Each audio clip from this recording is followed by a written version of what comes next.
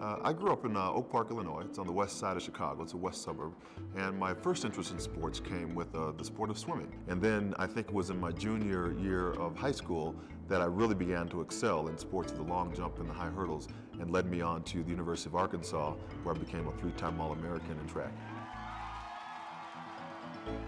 So I really started considering the military for two reasons. One, uh, my wife and I were just getting married and I had no job. and the second reason was uh, I wanted to continue to run track and field. I thought that I really had a good opportunity to make either uh, the 1992 or 1996 Olympic Games. And the United States Army had a program, the United States Army's World Class Athlete Program. I went to the All-Army Track and Field Camp and actually qualified for the Army's World Class Athlete Program out of that camp. And I fully expected to go and have served my three years as a soldier athlete in order to make or try to make uh, an Olympic team. But what happened was Saddam Hussein raised his ugly head and uh, I was diverted to uh, a field artillery unit and wound up uh, spending seven months in the desert.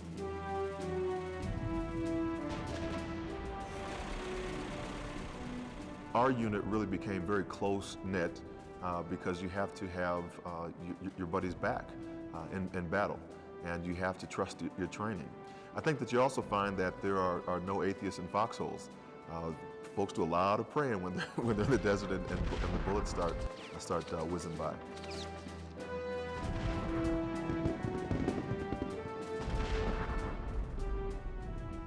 So here I am, this, this, uh, this world-class athlete that gets uh, derailed in my dreams and, and, serves in the Operation Desert Shield Desert Storm.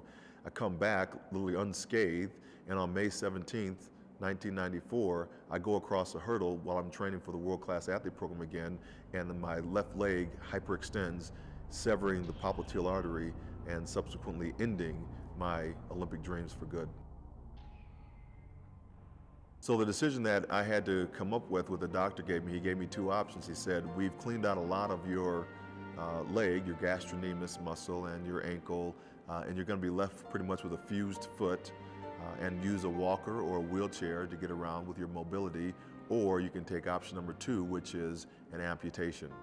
The best option for me really was I wanted to be mobile, and the, and the artificial leg was going to help me be mobile. So the, the decision was pretty easy for me to make. Uh, and it was just time for life to uh, move on.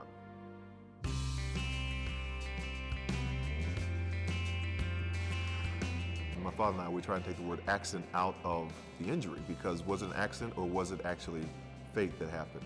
Because when I look back on it now and I see all the things that have transpired in my life, if that didn't happen, these other things may not have happened my father was, was right when he, when he said that, you know, this is something that's going to impact a lot of people.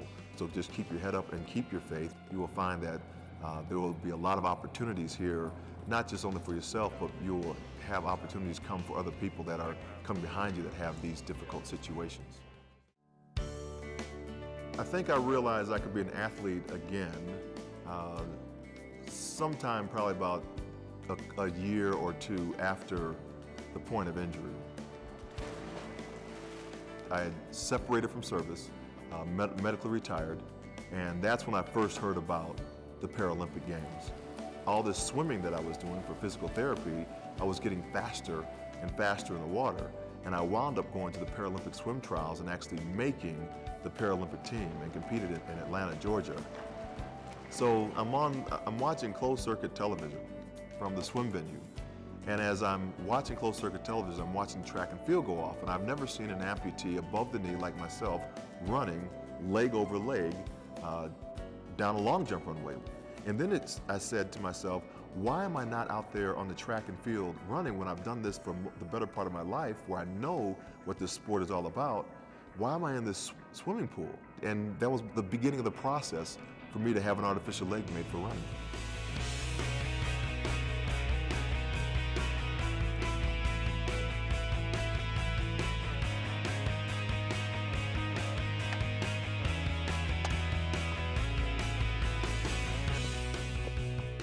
As an athlete, I was in the Atlanta Games in 1996 and in Sydney, Australia in 2000 and won the silver medal in Sydney.